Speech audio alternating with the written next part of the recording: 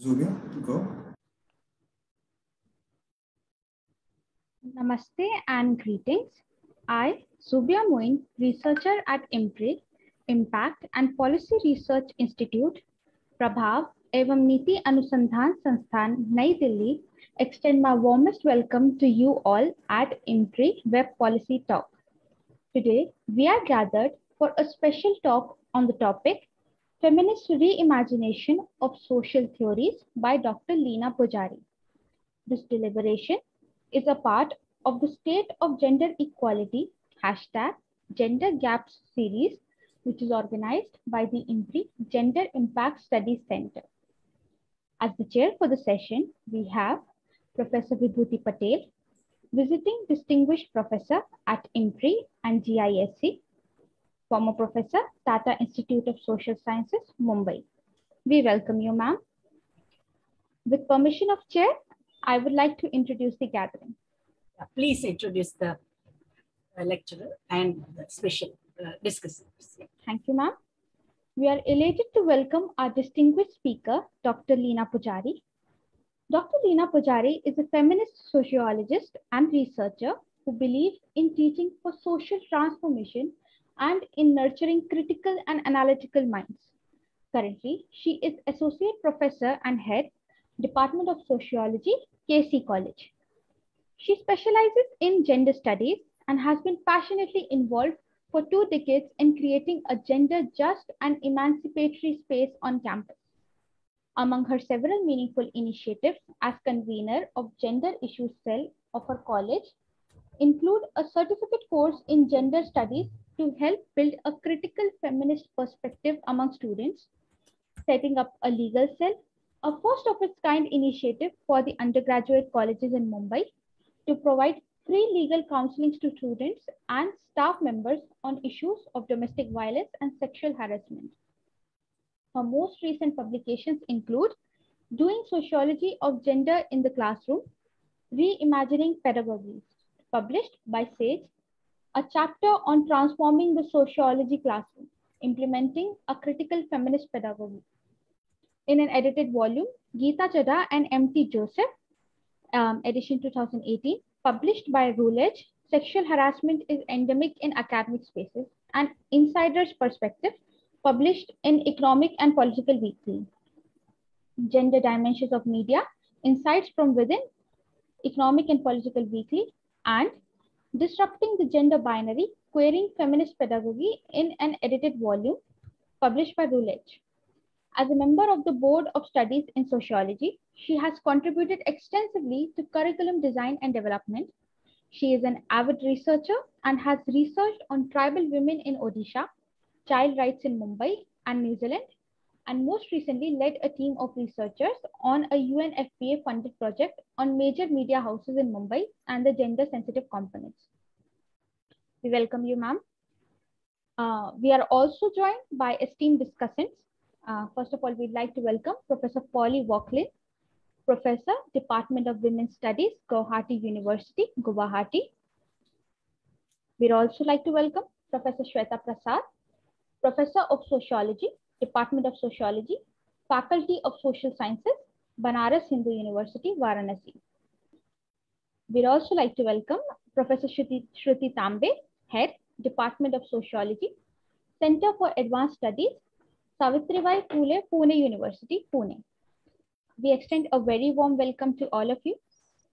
Now, I invite our chair, Professor Vibhuti Patel, to initiate the deliberation with her opening remarks, invite our esteemed speaker, and to proceed further.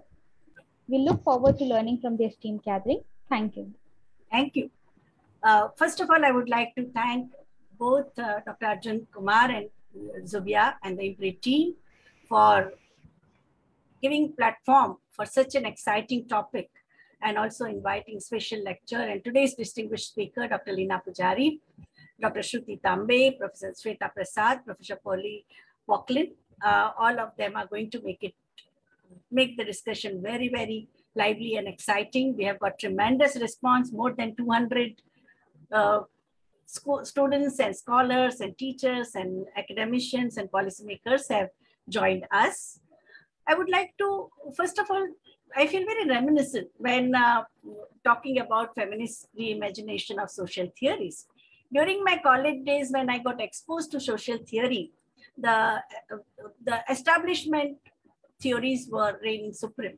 It was reading of Second Sex by Simone de Beauvoir, who sparked post-war discussions on feminism, morality, existentialism, that I developed not only critical eye with regard to social theories, but also an insight into the feminist efforts at engendering social theories. And I would like to begin with the quote uh, from Simone de Beauvoir, her sharp critique of the mainstream theories, social theories.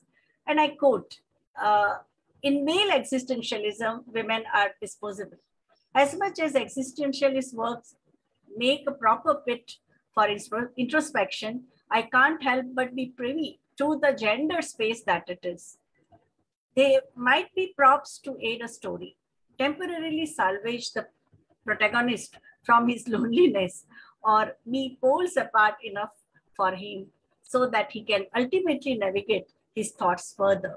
So I think this is a very, very powerful statement that she made and feminist reimagination of social theories emerged from such efforts by the women's political movement for women's rights in economic, political, socio-cultural and education spheres. During the first wave of feminism, and contribution of Mary Wollstonecraft or Susan B. Anthony was marked by women's suffrage movement of the late 19th and early 20th century challenge, which challenged the inequalities between men and women in the spheres of public life, in voting right, in political participation, property and inheritance rights, employment and equal rights in marriage and in public life. It challenged the gender-based division of labor and critiqued the male-centered social theories in ethnography, anthropology, hist history of colonialism and Orientalism. Second wave feminism and its theories, such as Simone de Beauvoir or Betty Friedan and Rhea Dworkin of the late 60s and 70s, they demanded liberation of social theories from misogyny and initialization of women in public uh, uh, uh, and also public and private dichotomy that defined social theories in sociology, economics, psychology, and history. Philosophical influence of existentialism, modernism, postmodernism, structuralism, post-structuralism theories were challenged by the feminists. They also brought in so-called personal problems of women, quote unquote personal problems like violence against women, sexuality, reproductive health issues, women's role and labor in the home and unpaid care work, and patriarchal culture, control over sexuality, fertility, and labor of women in the, in the realm of uh, academia, in uh, economy, in uh, political spheres, and in cultural spheres. The third wave feminism that began in 80s not only critiqued the politics of second wave, but it uh, and its biases in favor of white, middle class, heterosexual uh, women, and its exclusion and suppression of viewpoints of women of color, the poor, gay, lesbian, transgender people, women from post-colonial world, but also provided sharp critique of existing meta-theories for its essentialist and universal notion of womanhood and brought issues of racism, homophobia, Eurocentrism and uh, transcending of gender binaries in their theorization. In 1983, the path-breaking contribution in feminist epistemology by Sandra Harding and Merrill Hintikka, uh, titled Discovering Reality, Feminist Perspective in on epistemology, metaphysics, methodology, and philosophy of science had a global ripple effect. In fact, in Bombay, we started study circle with uh, Deniz Kandiyoti's paper, which I had picked up from Nairobi conference in 85. And that's how the Vacha study circle, which lasted for uh, nearly nine years. Every uh, fourth Saturday of the month, we used to meet. We were discussing this, and the deconstructivist, deconstructivist projects, and which demonstrated how masculinist perspective and presumption they shape social theories.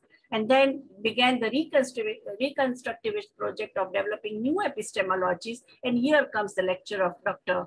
Leena Pujari that explained connection between rise of feminist movement and recognition of sexism and androcentrism in social theories, which had previously been considered objective knowledge production. Feminist theorization granted the prime position to experiential knowledge and challenge positivism.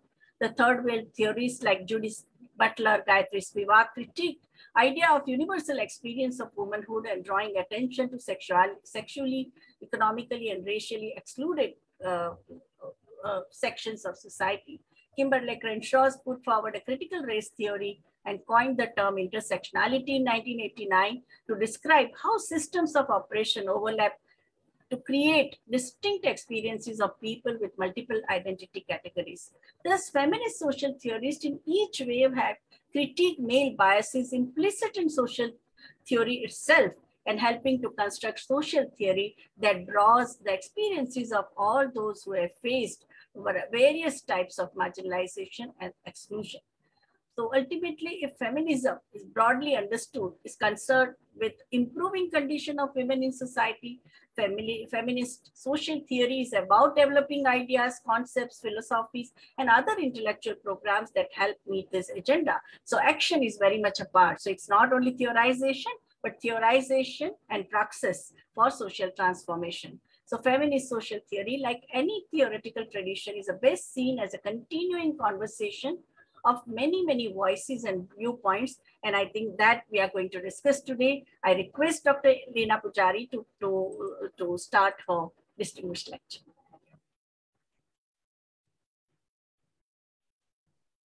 Uh, am I audible? Okay. Um, thank you uh, for that uh, kind introduction from the IMPRI team.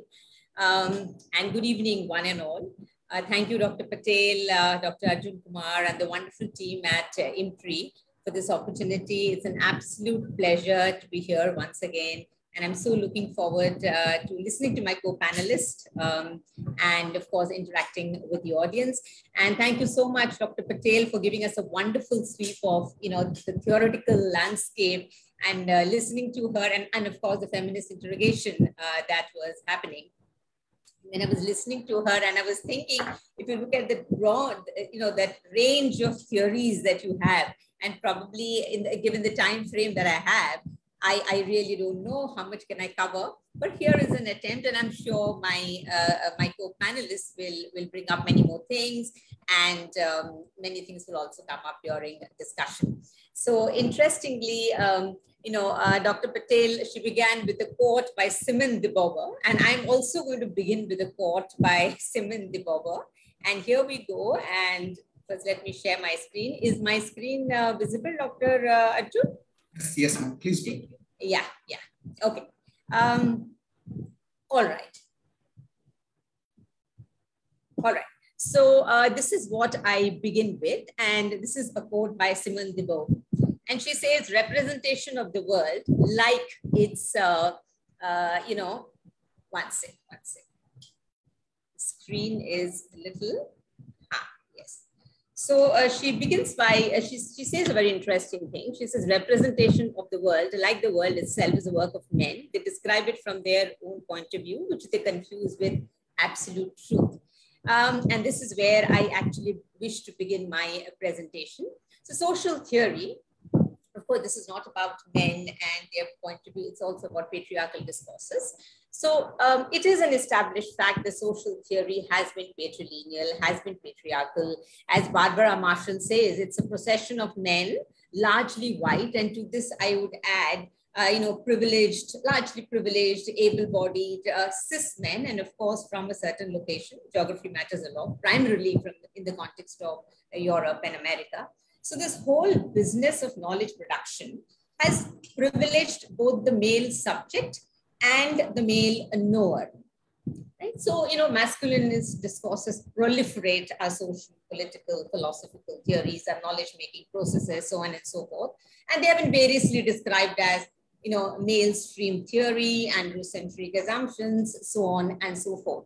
Now, I don't think it's enough to say uh, that there have been silences, omissions, and um, you know absences. I think a more systematic process is at work here. This doesn't seem to be by default, but it's a look, you know, it, it, it, it seems as though it has been by design.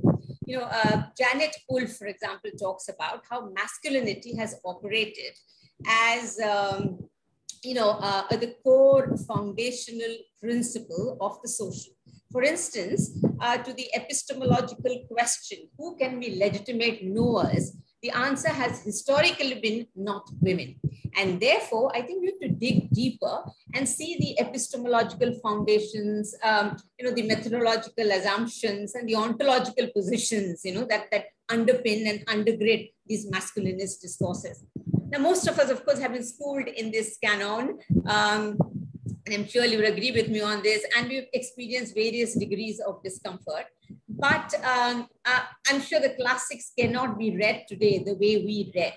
So I think a critical unpacking of this canon is uh, the first starting point.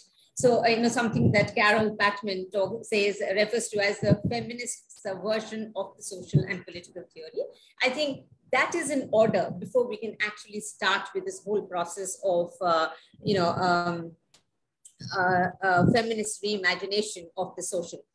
So, um, you know, I, I begin, so of course, a rich, as, as Dr. Patel has just uh, told us, you know, rich body of feminist thought has actually interrogated the canon at various points of time. So when we start looking at these theories from the classical, and I'm going to begin with the classics, I generally like, I'll begin with the classics. And, um, and if you look at, when we begin from the classic to modern and even beyond, one is struck by, you know, a series of um, dualisms and binaries that permeate our theories, okay, that have been, you know, most of the, the development of these theories have been characterized uh, by these kind of binaries, you know, public versus private, private that Dr. Patel spoke about, universal versus particular, modern versus traditional, so on and so on. It goes, you know, the partisan dualism kind of thing.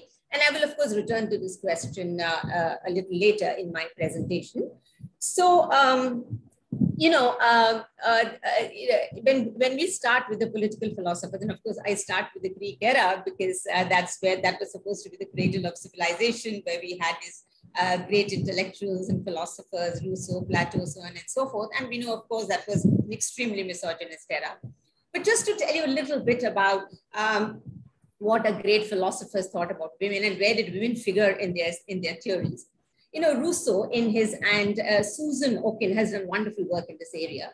And she says that Rousseau in his book, um, uh, the book is titled very interestingly as uh, Discourse on the Ideology and the Foundations of Inequality Among Men.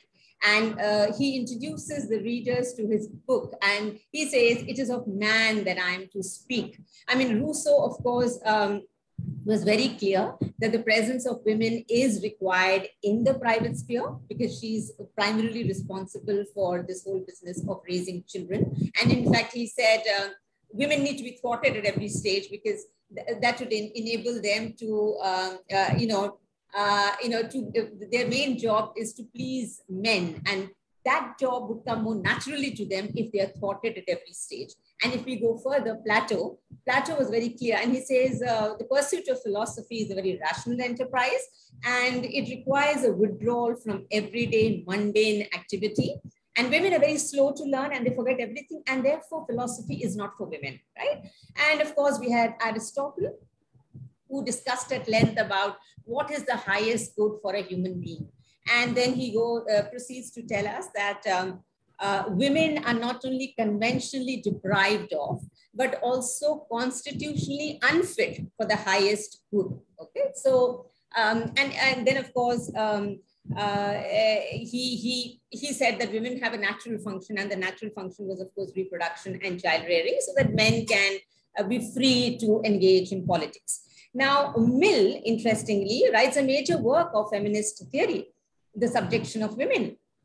Nonetheless, even he cannot imagine. He had this discomfort with this idea that, uh, you know, uh, women could say no to household work and that women could say no to their traditional role as homemakers, primarily because unpaid work. He had a certain discomfiture with this kind of idea. So, you know, and, and in building their theories, so in each of these theories, what we see is the assumption is that the family is a natural sphere uh, where women must perform their work. Now, in building their theories, philosophers ask very interesting questions. So they ask of men, what are men like? What is their potential? But for women, the question would be, what are women for? So here we see there is an undeniable connection between the assigned female nature and the social structure. Even the Enlightenment thinkers, we go further, and the Enlightenment thinkers provided elaborate frameworks that furthered uh, the exclusion of women from the intellectual and public domain. So, you know, the dualisms of uh, mind over body, masculine over feminine, science over nature received a further fillip at the hands of the Enlightenment thinkers. Kant, for example, identified women with inclination and men with reason. Now, when we go to the natural sciences, and this is something that I wanted to kind of um, talk about because our social sciences are modeled largely on the natural sciences. And Charles Darwin, of course, everybody knows about it. Um, he, for him, women were biologically inferior, very weak, heads were so small, and so they could do nothing except crochet and needlework. So the uh, uh, so the, this question, you know, uh, the kind of so all these frameworks, therefore, uh, not only sort of reinforce the division between the public and the private and the other dualisms that I was talking about sometime, um, you know, it was there in the previous slides. But they, what, what they also do is privilege, uh, establish the hegemony of man over women, science over nature. So, you know, so uh, science played an important part in giving a male content, okay, to this question of what it is to be a good knower, right? So the method and ideology of modern science, uh, on which of course our social sciences have modeled themselves, have reinforced this idea of masculine hegemony and scientific hegemony. Now, if we were to go further, and I would start looking at social theories, and if I look at the founders, I mean, of course, I'm speaking from a disciplinary location, but of course, in this uh, times of interdisciplinarity and transdisciplinarity, um, you know, we also need to make a foray into other disciplines, so which is why I began with philosophy and uh, the political thinkers. But if I were to come to my own discipline, sociology, and these have been the founders, of course, I refuse to call them uh, fathers of sociology. They have been the, the, founders of the subject. There have been other uh, women also who have been the founders, but we have never read about them.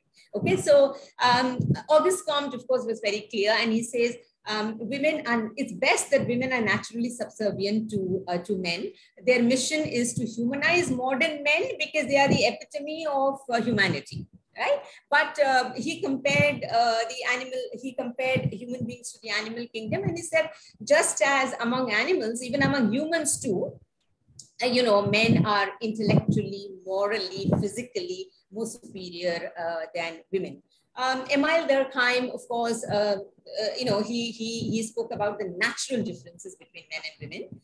And he said in the evolutionary scale, as we move up in the evolutionary scale, it is marked by increasing differentiation uh, between men and women. And in this process, men move closer to civilization and women lag behind. But he says a very interesting thing. Unlike others who basically treated men as completely disembodied, Durkheim says man is both the body and the soul right? So, you know, he has the social inside him and the society inside him, which is his personality. And there's this constant tussle between uh, the bodily senses and the social. The social triumphs in the case of the man, which is why man is, um, you know, moves into a civilizational kind of era. But in the case of women, she's not able to overcome the pull of the senses of the bodily senses, and therefore she lags behind, and therefore she is inferior. Now, when we come to uh, Karl Marx, uh, well, Karl Marx um, insights have been phenomenal. Uh, feminists have drawn significantly from the works of Karl Marx. And um, uh, Marx did not develop a theory of gender, but uh, he talks about uh, how the capitalist system exploits women. Uh, in in um, at least a couple of his works and more, in, in German ideology, he talks about how the father appropriates the labor of the women and the children. Then in Capital, he talks about how the family treats women as private property.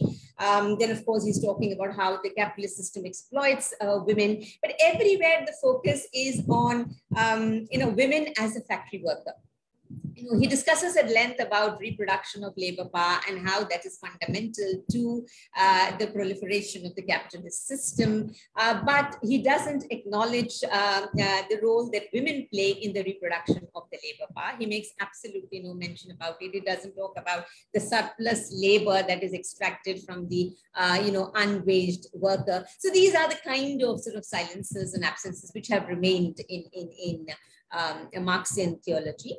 Now, in all these uh, sort of um, that we look at this theory, certain things become, um, you know, certain things are stand out. And what we see is that, that there are these distinct boundaries between the public and the private, with most of the theorizing happening around uh, industrialization, capitalism, urbanization, citizenship, contract, you know, freedom, equality, reason, interestingly, all the hallmarks of modernity. But uh, a woman's subjectivity is construed as being of a fundamentally different character from that of the man. And therefore, women can never be the modern subject. Okay? So this kind of dualism that we see, universal and particular, with the you know with the uh, with the public universalized humanity obviously referring to man and the, it is counterposed with the private world of particularity which is that of women. So the ontology of the social is certainly masculine without that it's built into it. And in fact if you look at these theories and and their um, you know if you look at these theoretical frameworks one thing that will obviously strike you is they seem to be based on they have actually been built in opposition to women and everything that is associated with femininity and women's bodies. In fact, uh, Mary O'Brien talks um, about how a theoretical heritage lacks a philosophy of birth. And uh, other kind of uh, feminists have taken this forward and have said that how we kind of, um, you know, uh, sort of um, uh, privilege, you know, we, we, we don't mention a physical birth, but what um, we have privileged is this whole idea of how, of, of how the masculine gives birth to a social and political order. So, uh, you know, the, the, you know the classical social theory constructs a very disembodied, abstract, rational subject as the ideal subject of, of modernity. Now, in a structuralist world, what I just discussed or what I just presented before you is a very kind of the structuralist world that I was looking at before we uh, move into post-structuralism and all that. But you know, in a structuralist world, we were overwhelmed by these positivist, functionalist uh, knowledges. You know, when we move into a post-structuralist world, I mean, no doubt, post-structuralism has forcefully challenged, um, uh, you know, claims of universality and homogeneity. But then the, uh, the the epistemological and theoretical frameworks haven't changed much. You know, uh, you know, from the, those dualisms are still there. If earlier it was tradition and modernity, now it is um, um, modern, modern and postmodern, it is colonial and post-colonial, and these kind of dualisms have continued. And of course, um, I will not, because of paucity of time, I'm not going to get into post-structuralism, but I'm sure we can take it up during discussion if, if, if, if and when it comes up. And of course, I'm expecting my co-panelists also to take it up. So if one, if one looks at the ramifications, so all right, we know about this androcentric body of knowledge that we have. Now, what are the possible ramifications or are the consequences of, of having this kind of thing? I think the consequences are humongous. I mean, this kind of positivist, functionalist frameworks continue to reverberate, continue to resonate, not just in the classrooms. I mean, it happens in a courtrooms, it happens in laws, it happens in policies. I mean, even today, I have my colleagues asking me, feminist research, is that research at all, right? Or, you know, why are we even debating? I often wonder that even now we are debating whether marital uh, rape can be a criminal offense or not, whether it can be criminalized or not. And why did it take such a long time for Section 377 to be read down? I mean, look at our understanding of democracy is so problematic, understood primarily with respect to um, the public space, you know, the ideas of liberty, equality, justice seem to work very well within the public space. But any attempt to bring it inside the house, inside the home, is met with a lot of resistance. And, you know, so, uh, and today, if we see populist discourses, the populist discourses are populated with this kind of very androcentric, masculinist kind of, um, you know, uh, kind of um, discussions, discourses, understanding that are rife these days. So the so so they so you know so what has been now coming to this whole thing of uh, feminist reimagination. Now, um, in terms of the, the, the feminist uh, responses, um, the initial response was, of course, um, you know what, uh, Carol uh, Pateman, she talks about politics of equality. The first response was, uh, okay, we, women are not there, so let us kind of add women. Um, let us include women. You know, it was a typical add and stir approach. Uh, we didn't ask any questions about epistemology and ontology.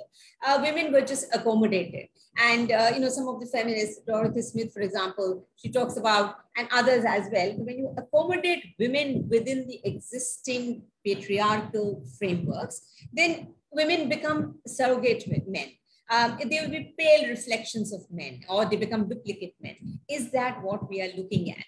And in this, in this, so this whole thought of a feminist reimagination then cannot be about incorporating women or adding them, uh, because uh, without questioning those frameworks, I think that wouldn't work. Um, this is something that has, I mean, uh, uh of course, uh, you know, a feminist imagination has also uh, started, um, has also been underway in India, uh, especially in, uh, in, in SNDT Women's University, in Bombay University, um, and everywhere we have been, we've had feminist scholars, including Dr. Patel, um, people like Veena Poonacha, Maitri Chaudhary, asking these questions about what do we really want? So, you know, when, when this whole uh, idea of feminist reimagination or women's study centers were introduced in different campuses in India, in different universities in India, the whole idea was that mainstream disciplines had to come under this feminist scrutiny. Not just interrogation, but also reconceptualization, and whether that is actually happening. And then we realized that what was happening was this add and stir approach. What was happening was a politics of equality, but not a politics of autonomy. So what we really, so imagination then is about this politics of autonomy. Now, so what, what is this politics of autonomy? What we need is a fundamental restructuring and reconceptualization of the public and private, of modes of knowing. It is about bridging the gap um, you know, bridging this distance between the personal and the political that Kate Millett spoke about. It is about raising fundamental questions about epistemology, methodology, ontology, and the whole social, political, scientific, and metaphysical underpinning uh, of patriarchal theoretical systems needed to be shaken up. Now, what would that essentially entail? And here I will bring in Dorothy Smith because she actually talks about this epistemic shift. What we essentially need when we talk about uh, reimagination is an epistemic shift. Um, you know, and she she uh, she starts by you know she says that the roots of women's oppression lie not so much in her social and cultural exclusion as in the structures of knowledge that have mapped the world. So this intellectual and social world that we inhabit, where we do research, where we build up our theories, is basically centered around the experiences of men. And she refers to them as the inner circle. And she says this is where men produce knowledge for men and about men, and from where women are totally excluded. So there's a certain dissonance here, there's a certain disconnect it appears as a we, we meaning women, we stand outside this entire corpus of knowledge because it is separated from our everyday lives. When it does not speak to us, it doesn't, we don't have a conversation, it does not have a conversation with our concrete material lives. So this process of knowing or constructing knowledge does not recognize our embodied and embedded selves, removes the local, personal, and the everyday from the process of theory building, and erases what we are essentially embedded in, which is our ties of kinship and family and household. So it, and, and of course, she talks about this relations of ruling, uh, a term that she borrows from Marxian theory uh, to describe how it is, it is this, uh, uh you know, it is this um, a group, uh, an organization invested with power, which actually within the academic, which sets the academic agenda. Um, and all of them, of course, invariably happen to be men. And she says, I become, um, uh, she talks about, so she talks about this bifurcated consciousness. And she says, I became acutely aware of this bifurcated consciousness, you know, uh, this, this, uh, this division between the world of work and the world of home, uh, which, which um, uh, you know, and, and, and this constant shifting, I mean, the constant shuttling that it needed uh, between a consciousness organized within the relations of ruling, which is constantly telling you that, look, you have to maintain a division between the public and the private, and a consciousness that is implicated in the local particularities of home and family. So the intellectual world actually appears, uh, the intellectual world which is out there actually appears genderless. Uh, and if I may extend this further in, in, in the Indian context, it actually appears casteless, classless. Um, it actually appears very ableist. um, and, and far removed from our experiences, far removed from where we are placed and far removed from our understanding. So she asked, she asked, can we have another mode of inquiry, another way of knowing, another way of theorizing? So a feminist mode of inquiry might then begin with women's experiences from women's standpoint. And she actually asks whether the everyday world with this messiness, is disorganization, personalized ways of knowing, can that be the subject of inquiry instead of the abstract, context independent, value neutral, and objective sort of universal world that exists um, outside us? So the whole fundamental question is, can we locate the knower in the everyday world of experience? I think if we do this, then women become both the subjects as well as the objects of knowledge. And I think such a refashioning and reimagination is necessary if feminist theory is to avoid the, the intellectual perils of abstraction, idealization, and irrelevance, uh, which underpin theoretic, which have underpinned patriarchal theoretical discourses in the past. So feminist reimagination seeks actually, uh, you know, a, a new discursive space, a space that will encourage a proliferation of voices, a plurality of perspectives and interests, new methods of knowing, and not privileging any one of the two. And also, um, I'm acutely aware of the fact that Dorothy Smith, in fact, was critiqued for privileging uh, one kind of experience. And then of course, she clarified saying, it's not about privileging. This is not, as she says, it's not a sociology. It's a sociology for women, but it's not a sociology about women. So um, it's about privileging all marginal voices, not one. So I think I will end by emphasizing this, that when we talk about feminist reimagination, it is not one, but multiple, just as feminism is not one, but many. It recognizes a diversity of positions. It is reflexive and it asks questions about whether feminist theory itself has erased certain uh, uh, subjectivities and experiences of those in marginal locations. For example, the queer, uh, you know, uh, people from Dalit, um, you know, the, whether the Dalit uh, subjectivities, epistemes have been included. Um, it is also intersectional. It is not just reflexive. Um, it is intersectional. It recognizes the fact that we all come from different social locations and it is very, very important to understand how these locations intersect to produce different kind of experiences for each one of us. Uh, thank you so much. I, I don't know whether I stuck to, whether I'm well within my time, but thank you so much for uh, this opportunity. Thank you, Dr. Leena Pujari, for a very, very mind-blowing as well as a very erudite presentation. One covering such a huge canvas, right from Aristotle, Plato, Rousseau, Kant, Mill, uh, uh, uh, Durkheim, Marx, post-structuralist, post-structuralist, postmodernist, all schools of thought you have said, and it's also humbling experience to say, and in feminism that it is not only one particular my way or highway, there are plural meanings of feminism and it is continuously growing discipline. So I would like to ask Professor Polly, how would you like to respond to what Dr. Pujari has presented? Uh, thank you so much, the organizer, for giving me this privilege to talk uh, in this and to be a part of this esteemed um, gatherings and also to the uh, to the students and scholars who have joined us. Uh, as I was listening to uh, Dr. Pujari, and this happens to me quite often, I get very convinced uh, when I listen to the theory, different theories of um, different social theories and other theories too, because uh, I come from a different, my root is from geography. And when we talk about geography, geography is still a very masculine subject and coming and doing research from uh, geography and that too on gender geography was uh, was pretty difficult in many ways because uh, those feminist uh, those knowledge that I have acquired or or uh, or created in my research was very difficult to convince them these are different sets of knowledge and it, it belongs to geography. So um, I'll be basically talking and when I listen to the theories I uh, that's why maybe I get very convinced because geography talks, it's, it's a very different subject in the sense because it's very quantitative and um, it is very empirical way of doing research. Uh, so, um, so basically, um, I whatever I will be uh, giving or speaking today will be my position as a geographer first, then how from a geographer, my position uh, took a different turn as a gender geographer, now as a faculty of women's studies. So this whole, uh, and I am, uh, I, I'm, I'm not talking from, I haven't taken any theories to uh, critically look upon.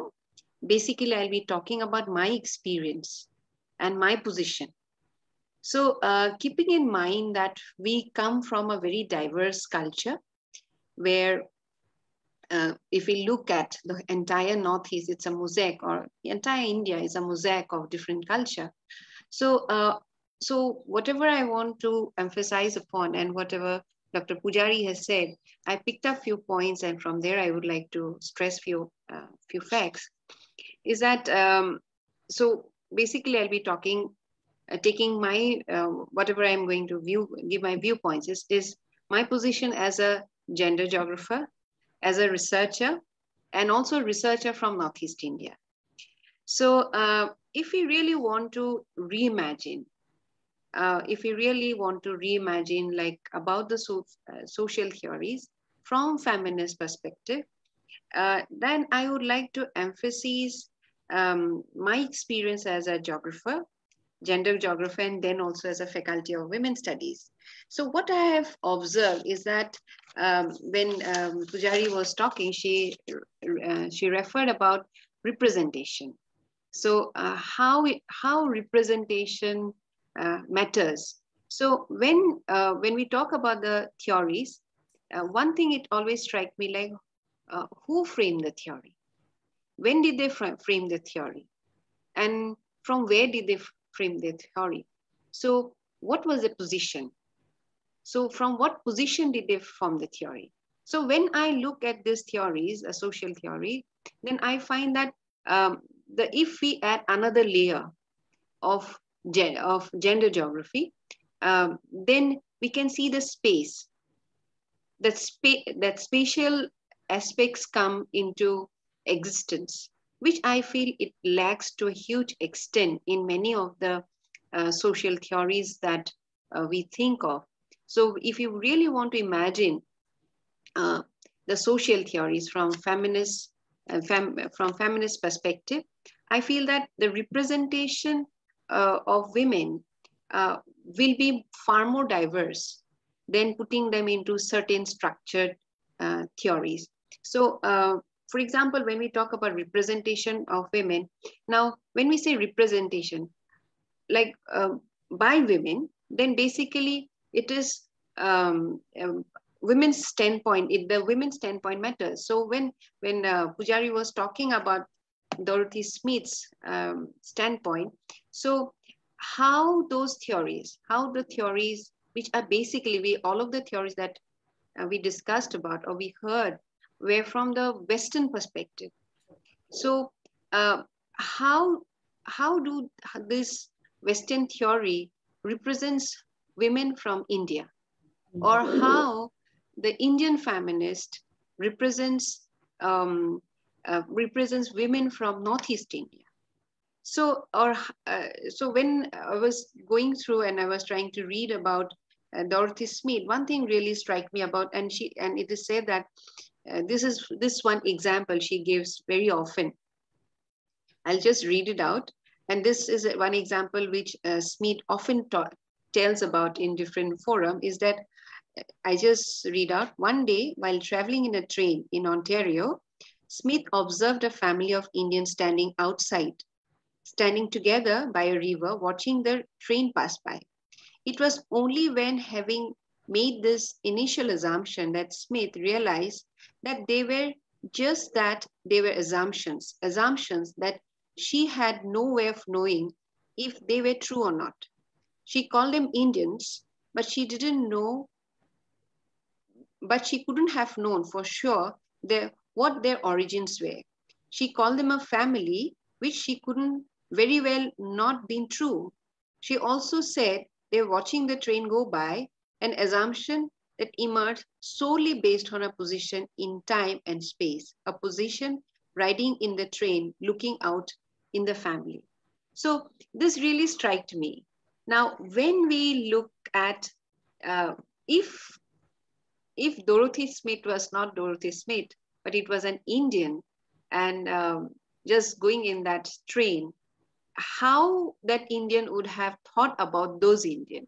This is something which really struck me. And uh, why I'm saying so, because many of the theories, uh, social theories, I feel that um, I, I cannot connect. I cannot connect very well uh, in the context of a woman and a feminist scholar from Northeast India. Uh, and because patriarchy has a different conceptual understanding, patriarchs in India, in Northeast are of different type, women of our place are of different type, uh, but we have some common commonalities. But yes, uh, so while reframing, I feel that if we take space into consideration, if space is taken into consideration, along with space, if time is taken into consideration, I think uh, we can add one layer to the imagination of feminist or social theories from feminist perspective. Another thing which I felt is that uh, about uh, why um, feminist theories together with social theories are not taken seriously. Are we going too qualitative? Because quantitative data sells, and it's a fact in the knowledge system. So can, can't we blend it together? Like our approach, can't we blend our approach together? Or maybe we have to start from the methods. The way we do the research, it also matters to create a theory or build up a theory or strengthen the theory. So mixed methods, uh, our met methods needs also to be re-looked upon if we really want to imagine, uh, if we really want to imagine of creating a different um, layer to the social theories. And uh, for me, I feel for my whatever knowledge I have, um, this grounded theories um, are those theories which can be adopted along with social theories uh, to unconstruct the privilege, to add different layers to um, to the social theory to make it comprehensive for the time being, which again re requires relooking and reimagination in due course of time. And this is these are what which was which really strike me when Vibhuti Mem asked me to uh, be a part of this. Like I, these are the things which really strike me, like how we see um, um, how we see the women in the margin margins, not in terms of knowledge, also in geographical spaces. Uh, so if um, like if we really want to make uh, the social theories more comprehensive, space matters, the geographical areas matters, and along with that, how space changes with time, that would also matter. Thank you so much. Very, very, very, very insightful presentation, Dr. Polly Vauquline uh, I just wanted to add to what you said that we need a um, triangulation of quantitative and qualitative, but our experience as economists working on visibility of women in statistics and indicators says that even the way quantitative is done, uh, there also you need feminist theory and feminist lens because uh, the gender blind way of collecting data it's mm. uh, can also create biases. For example, the data we have for census on labor force participation rate, the way they are, the, the question is asked, the way whole unpaid labor or the care economy work is not captured by in a quantitative analysis or in metadata. So there too, feminist lens becomes very important. Uh, this thing. I just would like to, uh, in the second round, you can tell us some of the important research is done with the perspective of time and space in the uh, uh, uh, with feminist theorization uh, in the northeastern states uh, that would be very useful. Now i would like to ask professor shruti tambe to respond to both the previous speakers. Hello? Uh, thank you vibhuti for having me and thank yeah. you dr Leena, for giving this very eloquent, very, very comprehensive presentation. And I must thank again uh, Professor Vibhuti Patel for uh, planning this session uh, because I think it was much needed. Uh, now, I must say that we should remember one very simple thing. Uh, that when we teach our own disciplines, we talk about feminist critiques. And um, as in a very basic way, and I know there are many students today watching this. So I would really take it to a very basic starting point. That Can you switch on your video? Video is on, but uh, the face is not coming. Okay. It's not clear? No. We are not seeing. No, there is none. We don't, we can't see you. Okay, I'll try it again, huh? Give yeah, me one yeah. minute. I'll yeah, try it again. Yeah. Is there something in front of camera, ma'am? You can check. Yeah, yeah, yeah. I will just do it.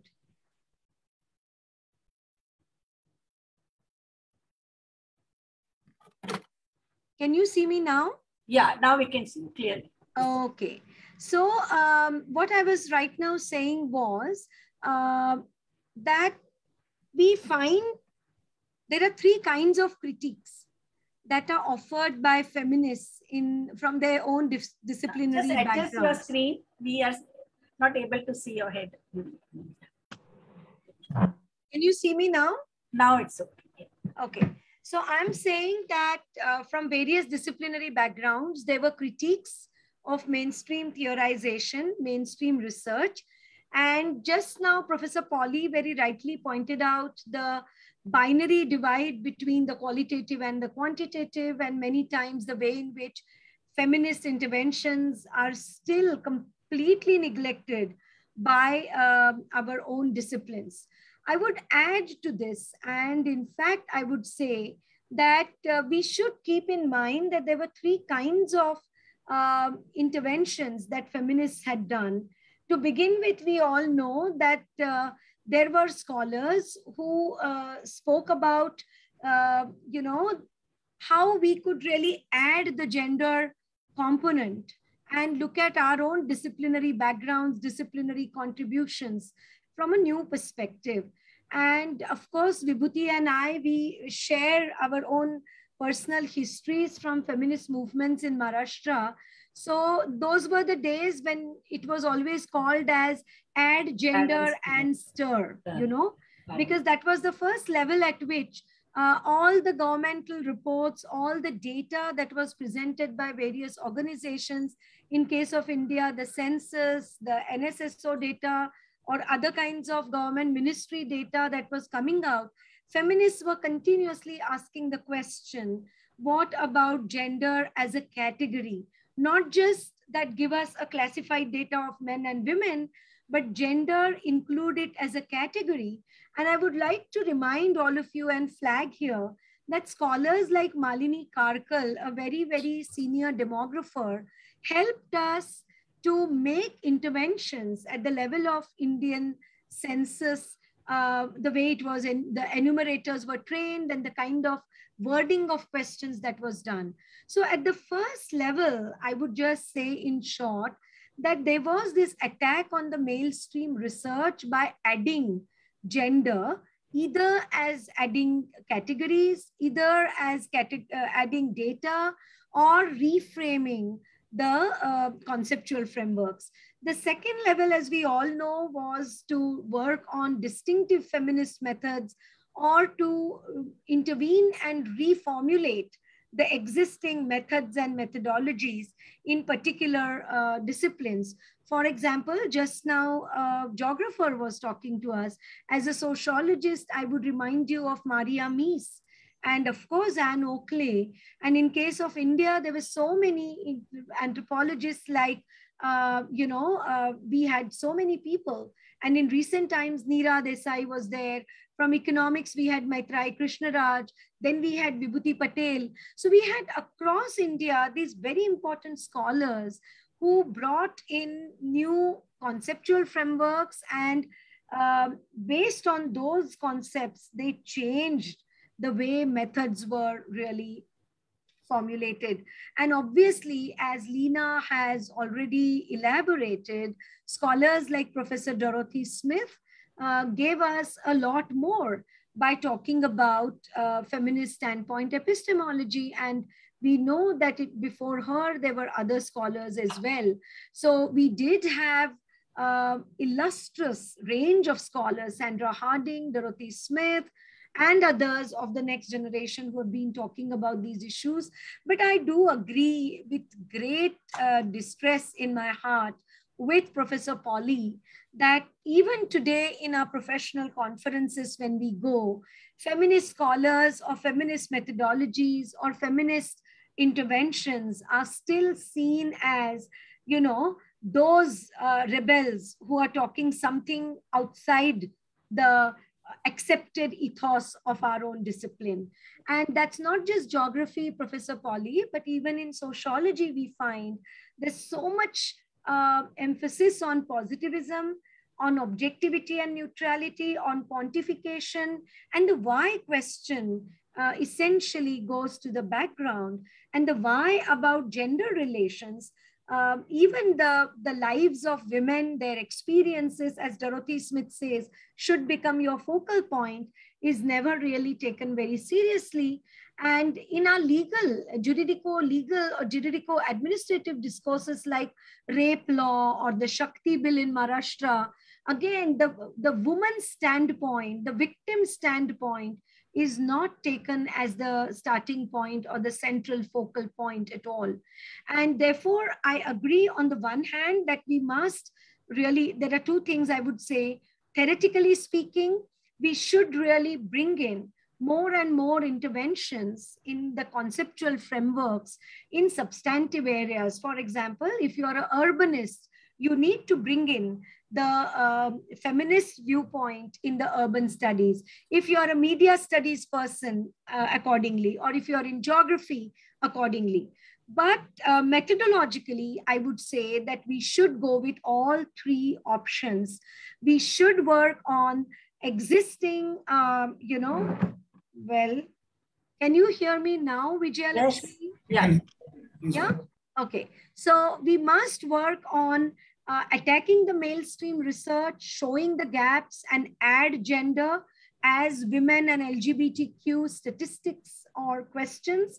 Two, we must also intervene by reformulating methods and techniques. And three, of course, standpoint epistemology has to be our ultimate aim.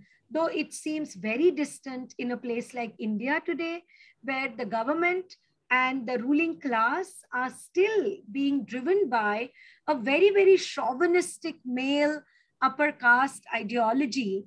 Uh, and in that scenario, any feminist intervention or critique seems like a, a extremely radical uh, rebel, you know? It is not taken as a valid scientific intervention or a normal contribution for that matter.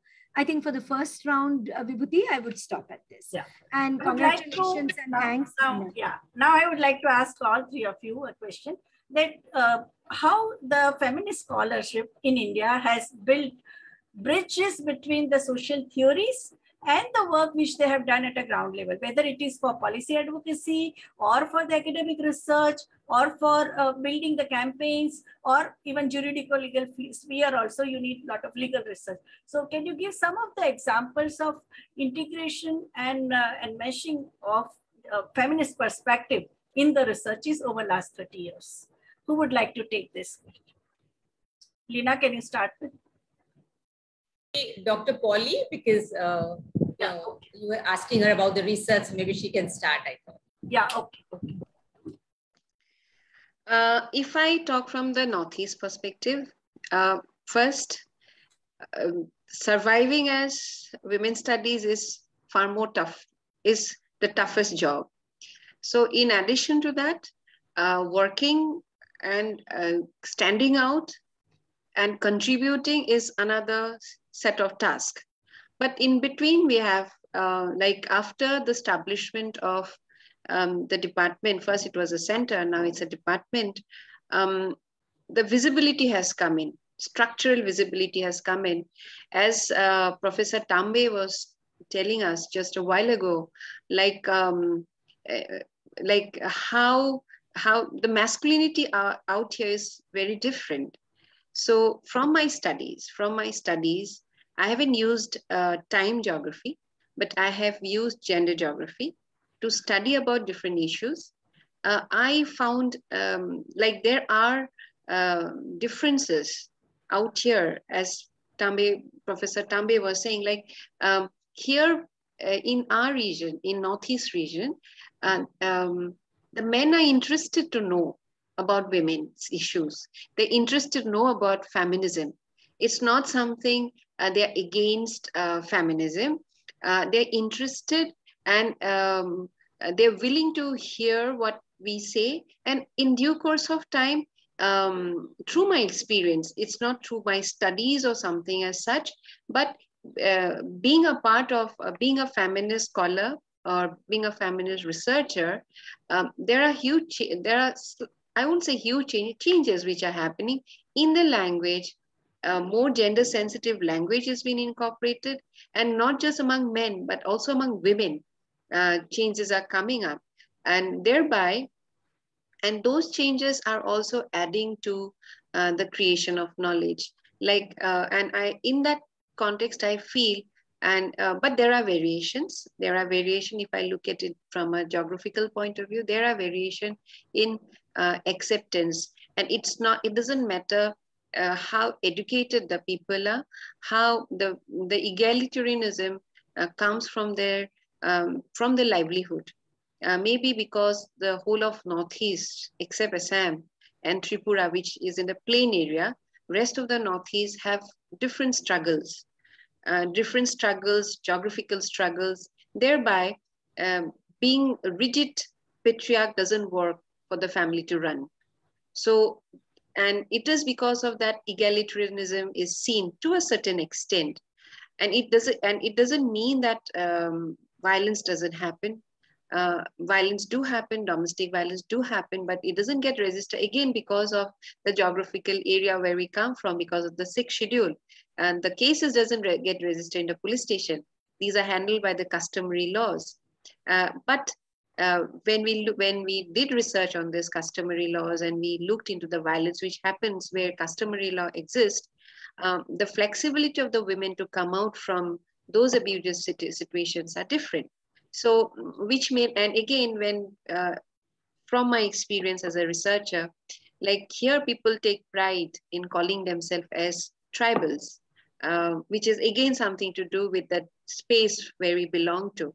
Uh, tribe is pride, whereas in other parts of India, tribe means a derogatory word.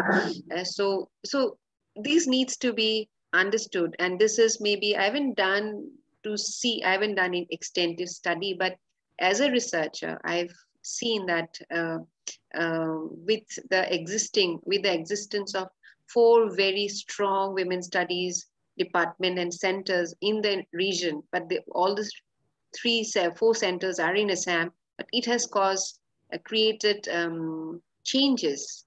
Uh, it has caused changes to the region and it has created some bit of ripple effect.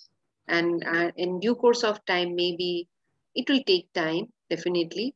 It's not as strong as um, South people, feminists from uh, southern part of India or from western part of India, northern part of India. I'm not taking Kashmir now, but northern part of India. But in due course of time, um, these voices are heard, these voices are raised. And, um, and because maybe we live in a place where we do not find rigid patriarchs, uh, the flexibilities are there, they are willing to listen the men are not strong patriarchs but there are we cannot we cannot generalize but uh, these are certain observations and experiences which i felt as a researcher and I think rich feminist scholarship has flourished, and that has been the experience of uh, regional conferences that we have in Indian Association for Women's Studies in all rounds. I think it was a Northeastern Regional Conference which came up with extremely uh, rigorous and well-researched papers, no? And I think they are coming out in anthology also. Yeah, yeah.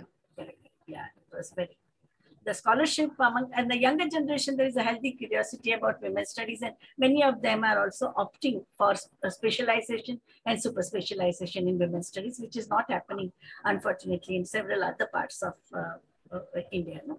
That, that's Thank yeah, you. I can just add one more thing, if yeah. you allow me. Yeah, like the centers are actually, we feel that the centers are creating feminist monsters and uh, they are doing really well. And now our alumni are coming back.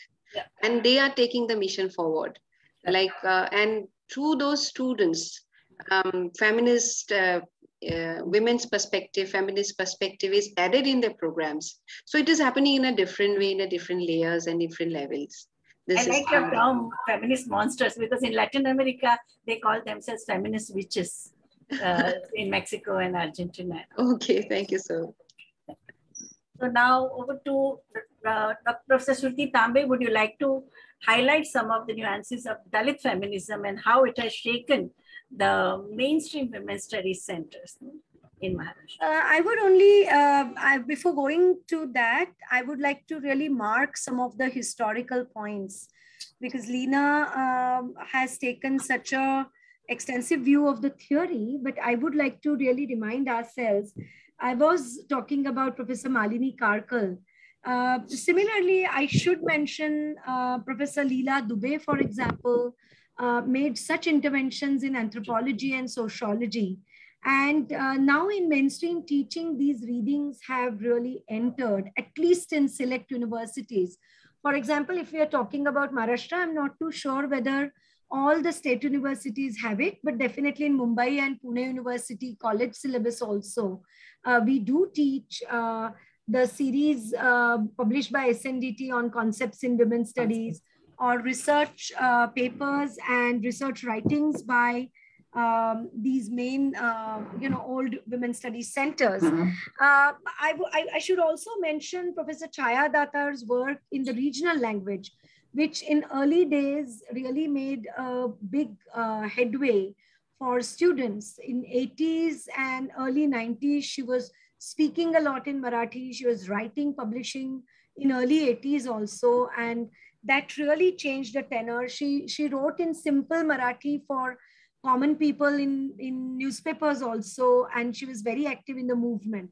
So I would say that at least in Maharashtra, the movement space and the academic space kind of uh, moved hand in hand and the academy also popularized eco-feminist perspective yes later on later on yes so i'm saying that uh, feminism was not just theory but the movement uh, insights and the academic uh, knowledge went hand in hand in Maharashtra. And that was one of the benefits that we all got. I think my generation, Leena's generation, found it easier to convince our seniors in the discipline or our board of studies and so on, because there was already this major UN cry, including Professor Vibhuti Patel. There were these uh, firebrands who were already in universities writing, publishing, researching, and talking about it in different uh, academic bodies. So the canonization of uh, feminist knowledge was quite easy that way in certain parts of India than other parts of India.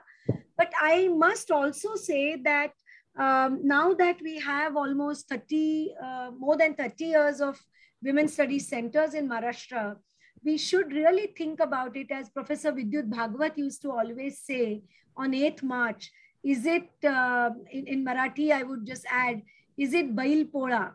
Because once a year, you really uh, deck up well all your oxes and your cows, and then through the year, you make them work for you. So is 8th March something like that? Tokenism, basically. So women studies centers, and, and Vidyut Bhagwat used to always remind us that actually it will be a good day when there's no need of a separate women's studies center but all the disciplines are including the basic insights of gender studies and feminist theory as their uh, foundational knowledge. And I'm, i would like to just remind ourselves about it. So is, um, is the separate women's studies center idea uh, uh, turned into ghettoization of a space that now you can say it happens in our universities routinely.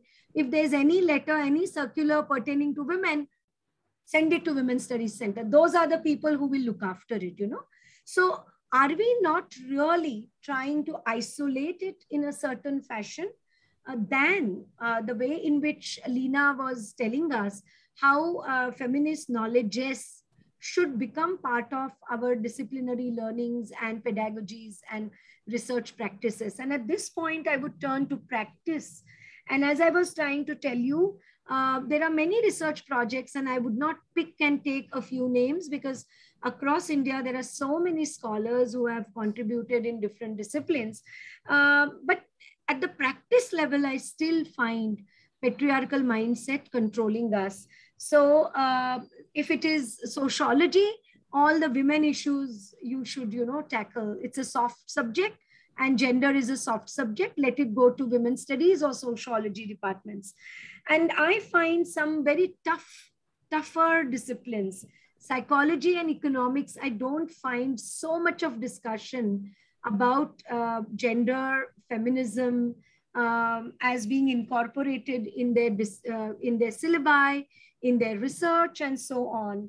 Uh, and I want to just remind ourselves about Susie Tharu. Early on, she reminded us, reminded us that caste system in India makes multiple patriarchies operate in an entangled fashion.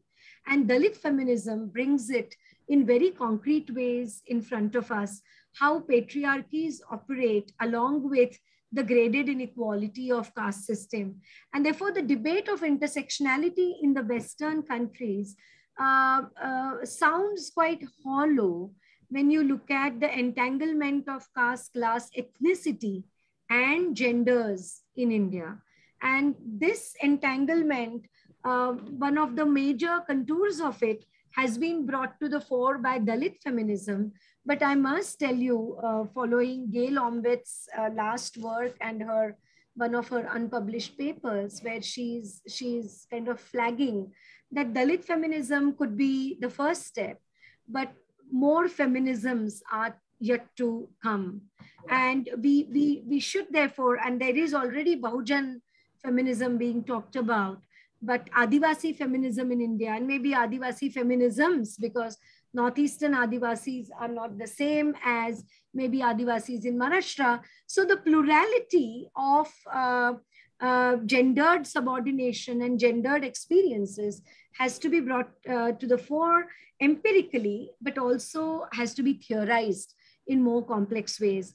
And I would say that we should be uh, we should be willing to be uncomfortable with all the new questions that come because I do remember many of our colleagues were so uncomfortable when Dalit feminism started asking some very difficult questions about what do we mean by solidarity and sisterhood. And I think we should be prepared to face more discomfort in the coming years. We should welcome it because that's how we can understand uh, graded inequality in its gendered form. And that's how voices will be heard and plurality and complexity of experiences uh, and gendered reality can be really studied more keenly. Thank you. Yeah. Yes, Professor Shruti Tambe, uh, you gave a very important learnings from experiences in the uh, women's studies movement in Maharashtra, especially uh, writing in regional languages, uh, taking the theories to the people, uh, to, to the students and the uh, uh, getting feminist understanding mainstream in the syllabi. That's very important. Here there is a response from Professor Ivan John of Sophia College Sociology Department that perhaps we need to push feminist and gender research into UG and PG programs and to move away from positivist obsession. What would you like to say, Dr. Leena Pujari? Yes. All right. I was, I, uh, yeah, that's a very interesting question, something that I can relate to very well.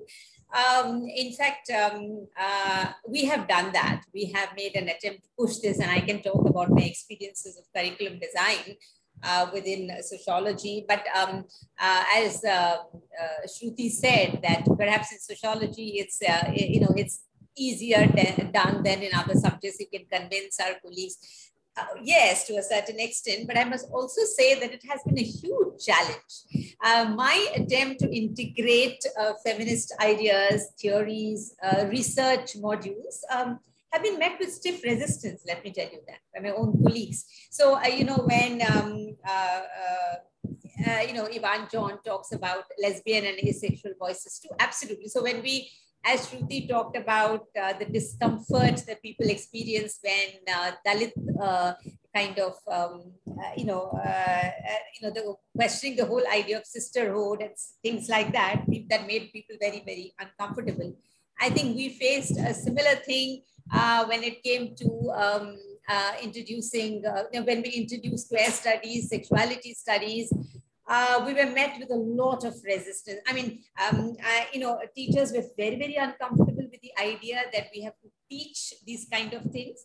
And they said, our students are not ready. Um, you know, we will be accused of um, all kinds of, um, you know, uh, that the parents will be upset that you are teaching students these kind of things. I mean, these were the kind of things and and there was this pedagogy of um, you know uh, silencing those topics. So these topics would not be engaged with in classrooms. It was a real struggle. I, I still remember when we had introduced this and there was a lot of resistance that i faced uh, that some of us faced uh, and, and our colleagues were upset. And then two months later came the supreme court judgment uh, reading down section 377 and i think that was a that was a savior. And the judgment also spoke about uh, asked the government to sort of um, uh, you know uh, uh, popularize i mean uh, uh, help people understand these issues in colleges and india also accepted in unhrc no? Yes yes. Diversity so yeah so i think shruti the it's a challenge and, and and the challenge continues. We are pushing from the margins but you have to be at it. You cannot stop um, we have introduced a lot in terms of research. I mean, even, even so, for example, if you want to, uh, in a research methodology paper, if you want to have a module on feminist research, um, but people will say, you already have a paper on gender. Why do you want research here? So if you want to push feminist theory in a paper on uh, sociological theories, classical social theory, modern social theory, they will say, but why are women? There's already a paper. I mean, so I think the resistance is, and as Shruti said, it is perceived as very radical as a kind of rebellious thing. And there is, I don't know why it is perceived as so intimidating, right? Instead of, you know, uh, being comfortable, I mean, instead of embracing this discomfort and instead of being open to the idea of uh, these, uh, you know, challenges and the need for, uh, uh, you know, uh, revisioning, I mean, a revision of your theories and your perspectives in light of the criticisms, um, we tend to resist a lot. So that is certainly there. That continues. But as I say, we have to be at it. You can't give up. Yeah. Yeah. I think it's very, very important that we all three types of pressure, global pressure, then the lateral push, and also pressure from below. So I think we have to keep, keep the issues of um, mainstreaming uh, disciplines, uh, all the mainstream disciplines to be uh, engendered and also the feminist thinking because there are there is a lobby which says that now we are in a post-feminist phase. So I think that also we need to yes, answer, yes. no? So, uh, uh, ma'am, can I add one thing here? Yeah, Dr. please go ahead. So, you know, you spoke about the, the contribution of uh, feminists in Maharashtra to, to research, to policy, and I can think about only the, uh, the uh, uh, you know, the SNDT Women's Studies Center, and you, you have done a lot of work in terms of interventions in policies and programs. I think um, Veena Poonacha, Dr. Veena Poonacha, Neera Desai. In terms of um, discipline uh, and reimagination, I think um, Sharmila Rege, Vidyut Bhagat, uh, Bhagwat, I think they have contributed immensely.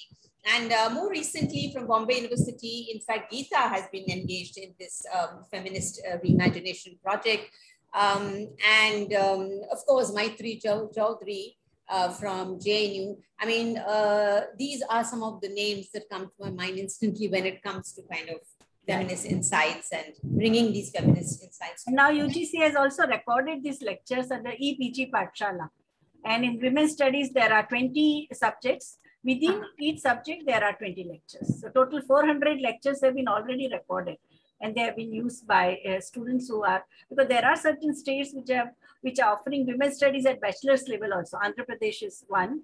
And uh, many other colleges and universities have introduced a paper within different disciplines on women's studies, no? whether it's a sociology or economics or political science or literature.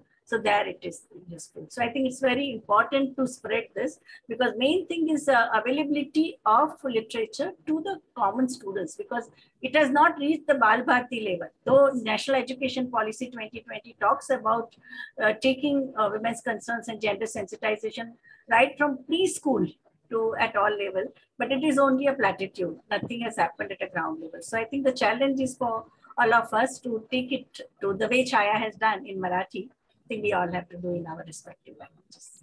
Yeah. So uh, now, Polly, would you like to say some of the important uh, uh researches in Northeast? Yeah, uh, my video is not coming out, but whatever. Uh, so uh, I would just add to that question about um, about not like why programs UGC uh, in undergraduate programs, research gender research programs in undergraduate and PG programs, we have a very different type of scenario now. Uh, and uh, it's not research program because research like in undergraduate research doesn't work so well among Indian university. But in PH, in PG level, in the later part of the PG level, the research becomes much more, the research aptitude among the students becomes stronger. So uh, that is one point. And we can see another type of uh, trend in our universities in, in Northeast India. Uh, like initially we had difficulties having students to take up women's studies. But of late, we have seen that um, since they study or they have um, a paper in their respective, in their mainstream subject, so we are getting students from different disciplines, also from science, Oh, uh, who have taken a master's MA in women's studies. And we have people from commerce, we have, we like, it's not in high, high numbers, but there are students who are coming from different subjects and taking our women's studies. And this is not out of compulsion. Uh-huh. Like if they don't get it in some other subject, they are taking admission. It's not that, it's by choice. Yeah. They come here by choice. But the disturbing factor is that we are getting lesser amount of male students. Ah, okay. This is another issue that um, yeah. we are facing. It's measured now. Now we we we we get lots of applicants, like when we started IMA in Women's Studies way back in 1912, 2012, uh, we had only, we had 28 seats and uh, there were around 30 applicants. But now a number has increased to 42 students and we get more than 200 and 250 applicants. And what uh, about certificates and diploma? I think there you get so many working people know that uh, and the it's, professionals. It's in MA. It's in MA in women's studies. Uh, MA, yeah, it's a full time course. So full time, full time. But what about that? Should we also have more and more diplomas and certificate courses in feminism? Yeah, we, we need to do that. In and this experience, we, we got an excellent response. We had a, a course on feminism. Leena was also there. Nine lectures were there, uh, spread over three days. It was an immersive course, online course, and we got very good response. So I think we, we we can and in undergraduate courses what is happening? We have re, re, uh, regularly we conduct refresher courses. So those faculties are going back to their colleges and they want to introduce uh, certificate courses in the in, in in their colleges. The problem is that government is not giving us post. So now noc has to be produced by the colleges that they will not demand post. So these are the things which are coming in to carry forward uh, the whole um, knowledge of women's studies in our region. And um, uh, Professor Patel, you had another question. I, I yeah, it slipped off my mind. Yeah. And then I would also like to ask Dr. Leena Pujari her experiences of running a course on uh, for, for gender course for past 12 years. What have been the, because the, yours is basically a commerce college and still you are getting good response. Uh, Professor Ivan John is asking, is it, it is interesting to know that we can under NEP 2020 uh, think about increased probability for cross-pollination as artificial divisions such as arts and science get melted down, which is also true. Yes, very important. Very, very yeah. important. Yes. Yeah. Yeah. So, you know, uh, uh, we have been doing this. Uh, mine is, of course, uh, uh mine, uh, a small correction. It's a arts, commerce, and science college, all three together. You get, yeah. yeah, we do get, again, the same problem that we have. We have been running it for now eight to nine years now, and the course, and the same problem that Dr. Uh, mentioned about we get very few uh, cis men as such uh, as participants in the course. Um, but, you know, and this running the course has also kind of, um, uh, you know, taken me to this whole debate that the uh, that uh, we had here, right here in Maharashtra, when, when, when we had these women's study centers that we established about, and the kind of debates and discussions that happened among feminist scholars about uh, what are we supposed to do, and um, uh, are these courses something that Shruti also uh, brought up? That is it a, a ghettoization? Is it about uh, so when we insist on women's studies separate women's studies separate center? Does it lead to a kind of ghettoization? Uh, instead, should we have an integration into all disciplines? But there's a problem there also because when you talk about integration into other disciplines, so if I talk about women's studies being integrated in commerce courses, I mean, even just so not that it's not possible, but then the whole question is, uh, what about pedagogical practices? Uh, who's going to teach those courses? I mean, it, teaching women's studies is not just like teaching any other mainstream subject. Like it is, a, you, yes, you need to be imbued with those kind of feminist insights and things like that. And that doesn't happen. So very often, even in FC foundation course, when these courses are introduced, I mean, uh, either if, if, the teacher is good and if the teacher has an exposure to these ideas and feminist ideas and concepts, she does a good job of it. Otherwise, it's just like any other way. It's a sad state of affairs. The way uh, the, the way these papers, the way these topics are taught. In fact, uh, if you look at the guidebooks, some of the guidebooks that we have, are, are absolutely pathetic in terms of stereotype, uh, stereotyping women and the way they, I mean, for example, one of the guidebooks will tell you that um, the, uh, one of the reasons for domestic violence is the nagging behavior of the woman the nagging behavior of the wife apparently is and that has been written by someone who comes from a commerce background so these are things that we really need the to... nursing textbook no, the these are advantages of dowry. Ugly women can be. Yeah, that is one. But I'm talking about at the UG level, uh, at, uh, at in Mumbai University. These are the texts.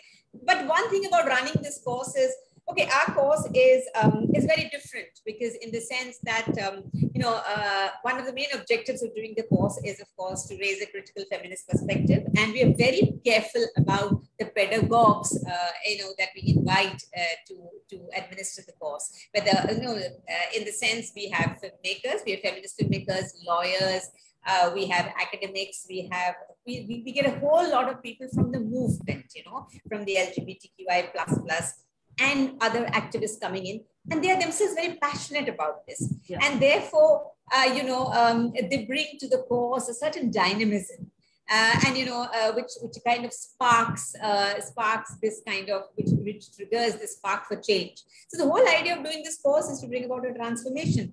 And that is something i feel we have been able to achieve to some extent. I mean i will not say that every student in the every year gets transformed but certainly there are people um, uh, for whom the course has brought about massive changes in their lives, in, in their families, in their neighborhoods. I mean, they have been able to do that.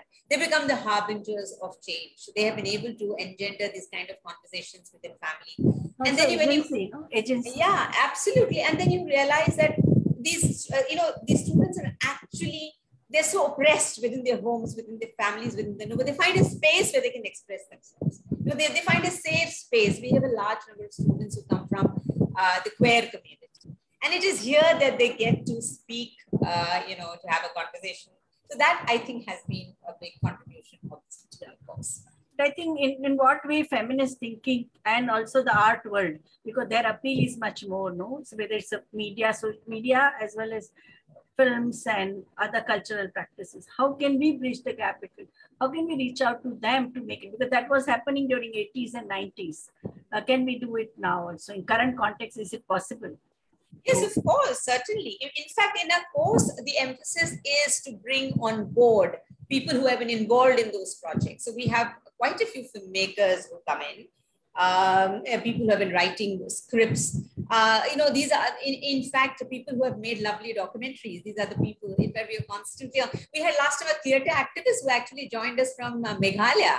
Uh, you know, to do uh, because we have gone online now in the last two years, we actually could get uh, uh, active uh, people from the grassroots. So people who are engaged in the struggle with Adivasis in Orissa in some remote corner have come as a resource person. We had a theatre activist who came from Meghalaya, who joined us from Meghalaya. So we have a diversity in terms of, um, you know, the faculty. So that I think lends a different kind of uh, sort of color to the whole course. Yeah.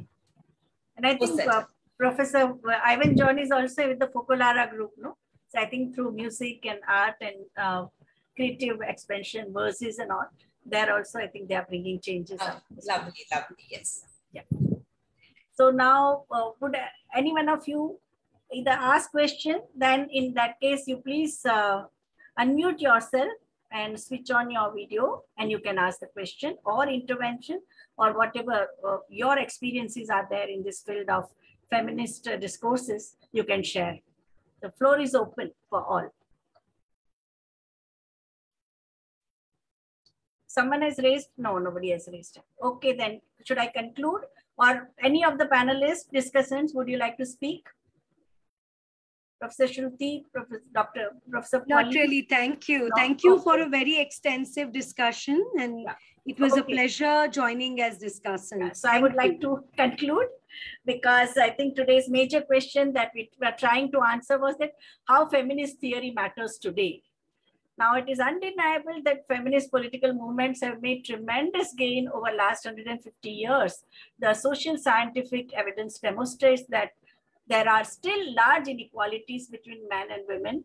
Uh, in uh, there are uh, sexual minorities are completely excluded uh, there are there are so many we, we ha still have persistent transphobia uh, when it comes to areas like income and wealth po political power opportunities legal rights sexual assault rape domestic violence and the overall status of those who are at the margin and who are underserved as long as gender inequality and oppression exists feminism and feminist thought will continue to matter to millions of people throughout the world.